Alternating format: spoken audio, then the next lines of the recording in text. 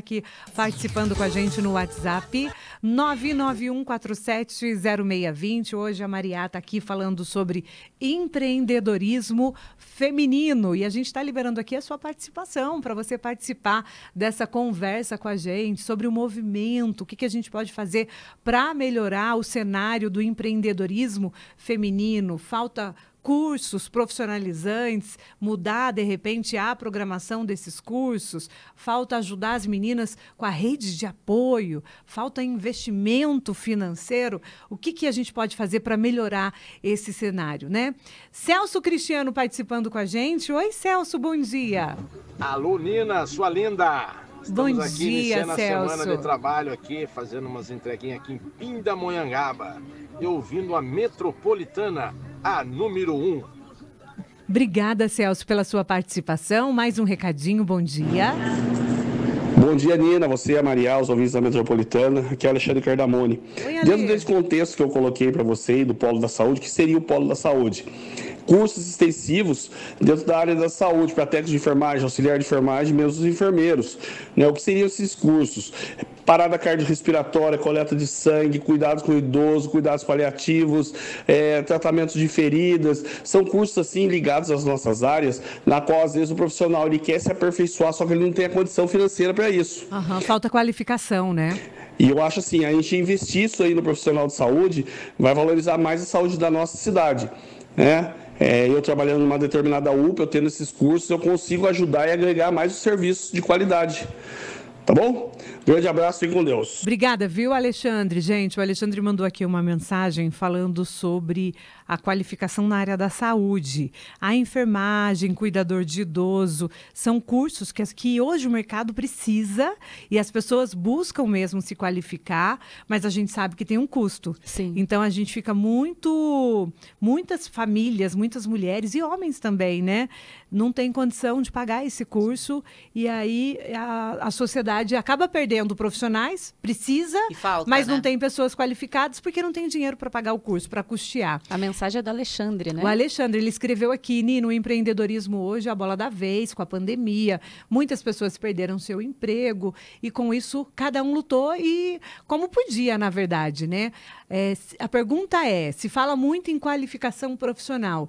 Eu, como um profissional da área da saúde, gostaria de saber se há uma forma de criarmos o polo da saúde em Taubaté, onde teria cursos de aperfeiçoamento na área da enfermagem, né? Para fortalecer o profissional da saúde, os que estão e os que Sim. desejam entrar, na verdade, Sim, né? Muitas pessoas querem entrar, mas É uma não ideia tem muito condições, boa, né? viu, Alexandre? Bom dia, Alexandre. Olha, sua ideia é ótima. Eu acredito que daqui para frente, na próxima gestão, o ideal seria que tivesse um hospital municipal, porque é uma demanda crescente, é uma demanda que a gente não consegue zerar a fila da saúde hoje. É necessário que tenha esse hospital municipal. Então, vai ter uma necessidade grande de mão de obra na área da saúde. E também a gente sabe que está para vir para cá um hospital particular, que, se eu não me engano, é o Vivale, que vai se instalar em Taubaté também. Que já tem, inclusive, em Sim, São José, sim. um hospital, um hospital gigante. de ponta, de Uma rede Excelente, de né? atendimentos maravilhoso, por sinal. E né? ele vem ocupar aquele espaço que nós perdemos o São Lucas aqui em Taubaté, né? Aham. Aquele hospital ele está fechado, Tá parece fechado, que tem, infelizmente. É, tem até processo, Processo trabalhista, ali. Exatamente. Quando teve uma empresa que até tentou reativá-lo, muitos muito ouvintes mandaram tempo. mensagem Sim. Fe- ah, falando que os funcionários que foram demitidos não receberam Não até receberam hoje. nada. Tá É, em processo, está em processo. né? E vai longe isso, né? Pois é. Na verdade, o Vivale vindo para cá também, eu acho que não vai conseguir se instalar lá. Vai ser numa outra área, mas é, na- é próximo ali.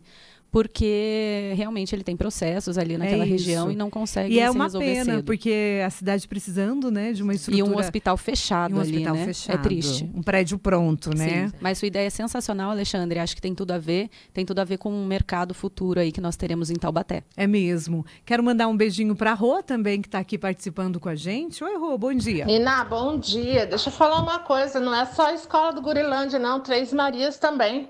E agora tem um certo vereador aí que ele tá aqui todo feliz que vai colocar o CRAS ali. E a escola do trabalho tem um prédio ali fechado. Você entendeu? Que é um prédio da Guarda Municipal. E a gente sem escola do trabalho. Outra coisa. Para que curso? Sendo que a mulher completa 50 anos não arruma vaga. Ela não consegue serviço em fábrica. Porque a, a pessoa de 50 anos nas costas, ela não, não precisa mais trabalhar, ela não tem conta, entendeu? Vai para a rua procurar serviço com 50 anos ver se você consegue. Você não consegue nem para limpeza. É uma briga para conseguir para limpeza. Então a gente precisa trabalhar muito, muito, muito nessa situação da mulher. Porque ela completa 50 anos, ela não precisa mais trabalhar, ela não tem conta, ela não come, ela não faz mais nada. Entendeu? Porque ela não consegue emprego nesse, nesse país. E, infelizmente a realidade é essa. Tá bom? Abraço para você, Maria aí, Jéssica e todo mundo aí, tá bom? Outra coisa, meninas, é por isso que a gente está dando um jeito de fazer alguma coisa para trabalhar, para vender, sei lá, comprar roupa, revender, porque a gente, infelizmente, não tem chance para poder trabalhar fora, porque quando você consegue, por exemplo, numa casa de família, você tem que ter não sei quantos anos de experiência. Quem que precisa de experiência para limpar a casa? É só por Deus, né? Então, é muito difícil. Por isso que eu falo, 50 anos você vai para a rua, você não consegue nada para trabalhar, tá bom? Abraço, bom dia para vocês. Obrigada, Rô. Rô fez um desabafo aí em relação ao etarismo, Ela que é o preconceito razão. da idade. Mas isso não é só aqui na nossa região, é no mundo. A Então. gente tem esse problema mesmo de etarismo. As empresas estão dando preferência para as pessoas jovens. Isso não é só com as mulheres, né? Eu acho que deveria as empresas é, abrir uma, uma- um número de vagas para as pessoas que estão dentro desse quadro de etarismo, porque a gente sabe que hoje em dia muitas pessoas acima de 50 anos estão aí procurando emprego, então assim precisa disso. Mas Não aí é isso é uma jovens. outra discussão lá na É. frente. Mas, mas sabe o que acontece, gente? Hoje o cenário, a gente tem um cenário novo no Brasil, no mundo também, que a gente está vivendo mais, né? Então, assim, antes a gente com E se 40, aposentando 50 anos, a gente era mais velho já, É. né? Já não trabalhava muito mais. Hoje em dia, não. A gente vive até 100 anos. Eu tô lá Sim. com a minha avó, com a minha, a com a minha tia-avó, vida é maior. com 95, 96 anos. Lúcidas, né? Lúcidas. Então, o que, que acontece? A gente tem uma vida produtiva maior hoje e a gente tem que se adaptar a isso. Novamente, é função do poder público valorizar os idosos, porque, assim, se a gente for ver Estados Unidos ou Europa, eles já entenderam essa longevidade maior, Sim. né? Que os idosos estão vivendo mais e com mais qualidade de vida. E como é que eles fazem lá? Eles dão incentivo para as empresas que abrem portas para o trabalho dos idosos. Então, você vai num mercado, num supermercado, hipermercado em, nos Estados Unidos ou na Europa, você vê os caixas, todos idosos. Idosos. Aquelas pessoas que Então. ajudam na, na hora do empacotamento. E por que, que eles fazem isso? É. Porque são bonzinhos? Não, porque o governo dá incentivo fiscal, porque o governo ajuda, apoia. Exato. Então falta isso hoje no Brasil. Esse apoio do, do poder público para incentivar as empresas a apoiarem os nossos idosos a voltarem a trabalhar, aqueles que quiserem. Precisa. E aí a gente tem que oferecer também todo o suporte para essa população idosa, porque a gente vê muito eles em hospitais adoentados, mas a gente tem que cuidar da saúde, porque não basta viver muito, mas tem que viver melhor, né? A gente tem que cuidar desses idosos. E a gente vem de dias difíceis também, É, né? Saímos é de uma mesmo. pandemia, ah, muitos idosos tendo que se, reinventar aí para poder ter uma renda.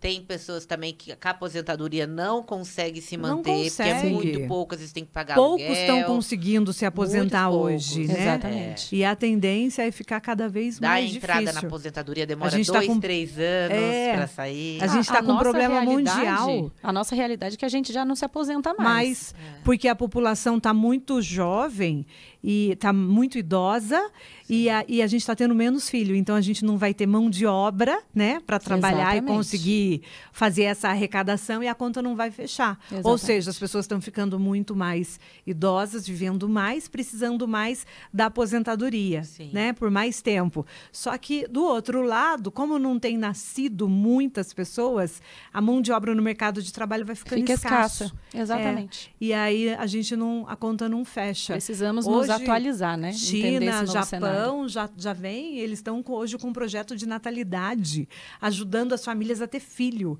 É, sabe? Na Porque- Finlândia também é assim. É, porque tem muito idoso e quase nenhum jovem no mercado de trabalho. Eles pagam não salário para a família, né? manter, terem exatamente, filhos. Para ter filho, para incentivar.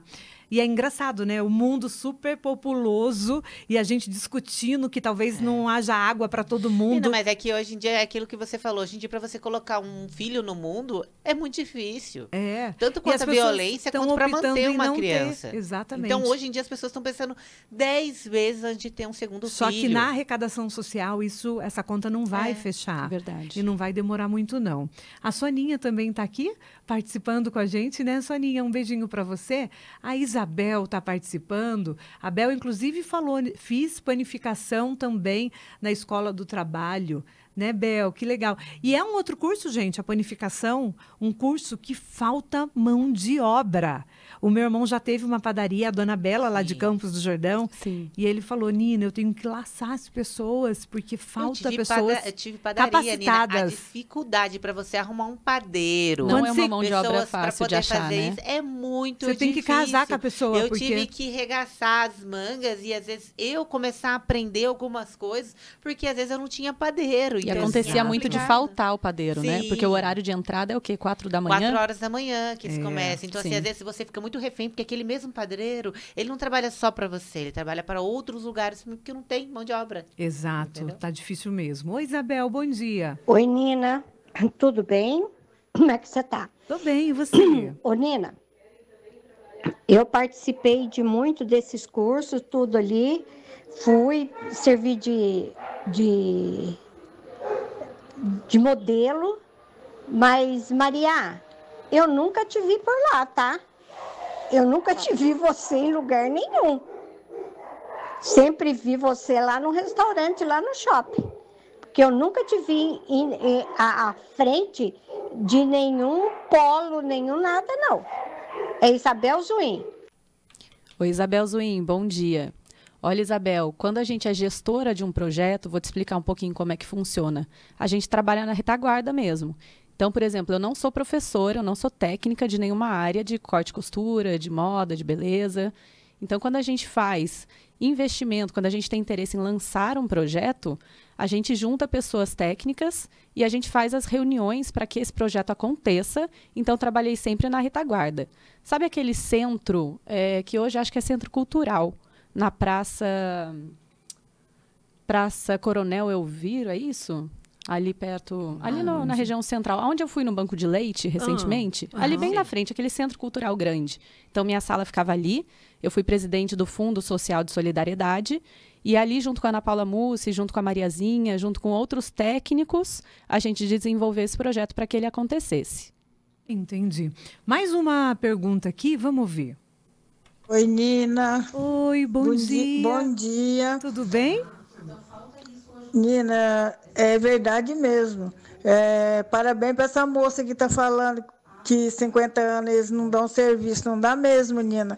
Eu estou procurando, eu tenho 50 anos, eu estou procurando serviço, eu não acho. Eu levanto de manhã, vou procurar serviço, eu não acho. Não acho nem serviço de empregada doméstica, eu não acho mais, Nina. É verdade mesmo.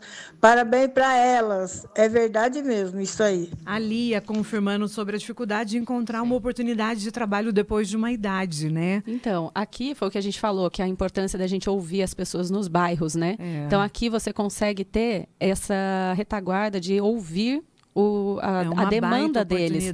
Então, né? eles estão nos mostrando, olha, tem mulheres hoje na faixa de 50, 60 anos em Taubaté procurando emprego e não encontram. É uma demanda crescente no município que a gente precisa ouvir, precisa se adequar e criar cursos, capacitação e também incentivar a as empresas a aderirem elas no mercado de trabalho. É isso, eu acho que é uma discussão que vale muito a pena a gente levar adiante, né, Com meninas? certeza. Maria, eu quero te agradecer pela sua presença hoje aqui. Obrigada, Nina. Muito obrigada, viu, pela sua participação. É Você sempre um volta prazer semana estar que aqui. vem? Volto, claro. Vamos trazer novos temas para a Combinado. gente discutir aqui. E quem tiver dicas de temas também Sim. que, que gostaria que a gente debatesse na nossa mesa redonda, empoderada de mulheres inteligentes, pode sugerir aqui. O WhatsApp está liberado mandado para gente. Quer saber sobre algum assunto especial para a gente poder ajudar? 991470620, né, Maria? Obrigada, Nina. Obrigada, Jéssica. Obrigada. a vocês, ouvintes. É um prazer muito grande estar aqui. Ô, gente, um a gente falou sobre empoderamento.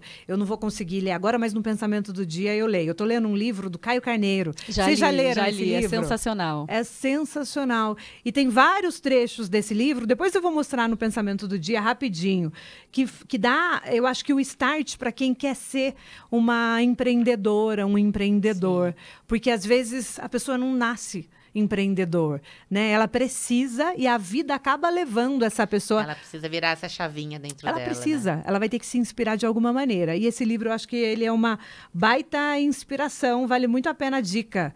Não vou ler o título dele aqui no ar, mas eu estou mostrando na TV. Caio Carneiro, depois vocês me procurem aí que eu indico também. E aí no pensamento eu vou ler alguns trechos é, que vai te inspirar com certeza. Às vezes a gente, o copiar é bonito, né? Não é feio Não, copiar o que é bonito empreendedor saiu daquela fase de que ah, eu tenho que criar algo novo. Não, não se aquilo está dando certo, copia sim. Copiar Pode é fazer porque e o copiar vai ser da sua forma. Exatamente. Não vai ser 100% é. igual Exatamente. da outra pessoa. Eu acho. Agora uma coisa que você comentou aí na leitura do livro é verdade. As pessoas acham que o empreendedorismo é muito bonito, criativo e a pessoa faz porque é nato dela. Não. Não. Na verdade, hoje empreendedorismo é por necessidade. necessidade. As pessoas estão enxergando o desemprego, enxergando falta de mercado de trabalho e elas precisam sim se desenvolver por necessidade. É isso, porque muitas histórias de empreendedores de sucesso nasceram a partir de uma fatalidade, uma a partir de um momento é. que a vida empurrou para que a mudança acontecesse. Exatamente. Então você que está aí ouvindo, desejando ter o próprio negócio, a gente fala um pouco mais no pensamento do dia, mas tem um sonho, tem uma vontade, pode se inspirar em outra pessoa que tá tudo bem, tá bom? Daqui a pouco a gente volta com mais uma super dica para vocês. Obrigada, Maria Obrigada, Ortiz. gente. Mais um uma beijo. vez. Jéssica de Paula, dá a sua manchete. Daqui a pouco você a volta falando sobre Tony Ramos. Vou falar sobre Tony Ramos e vou falar assim: você já foi para um after depois da festa? Sempre, eu adoro. Natanzinha é e Henrique e Juliano da... estão ah. os reis do after, mas eu vou que comentar legal. mais sobre depois. E o estado de saúde do ator Tony Ramos. Isso mesmo. Ontem ele passou por uma nova cirurgia no cérebro, não é isso? Isso mesmo. Ele teve um sangramento, precisou fazer uma nova intervenção, está ainda se recuperando e a gente vai comentar sobre isso. Depois do intervalo. Mina de Sal.